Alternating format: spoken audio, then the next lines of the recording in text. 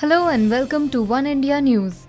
French cybersecurity expert who goes by the alias Elliot Alderson, who hacked into the Aadhaar Android app earlier in January, has now posted a video online detailing how to crack into the app in just over a minute.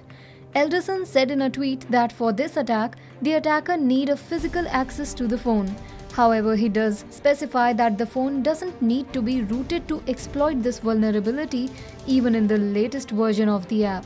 Alderson seems to be bent on trying to disapprove the UIDAI's insistent claims that Aadhaar systems are secure and it's the second time around he has done so. A bigger slap in the face is that this hack only requires a few lines of code, something that should not be possible for a national documentation system of every human being in the country, complete with biometric data and bank accounts.